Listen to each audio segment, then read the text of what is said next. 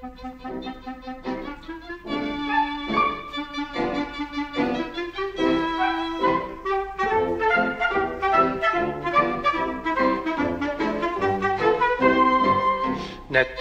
bor i toppen på et tre.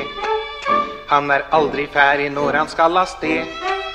Han skal spise fire konglefrø og danse lite grann. Han skal erte frøken Skjære og en gammel kråkemann. Nøtteliten sier mamma, er du der?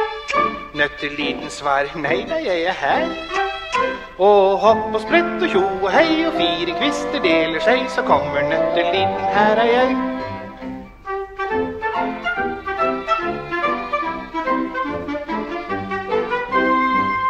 Nøtteliten sier mamma, du må gå. Og vær snar og flink med skoleveien nå. Ikke fly og finne nøtter du kan spise før du går. Du skal sitte pent på stubben din når skoleklokka slår. Nøtteliten svarer ja da, ja da, ja. Men nå tror jeg jeg må stikke, ha det bra.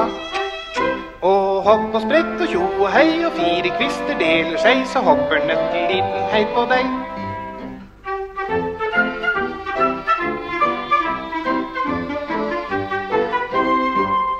Nøtteliten gjør så mange rare hopp.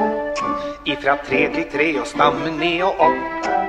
Glemmer skolen og det hele, han gjør kast og sprett og sprell. Plukker mange fine nøtter, han er nøtteknekker selv. Men så hører han at skoleklokka slår.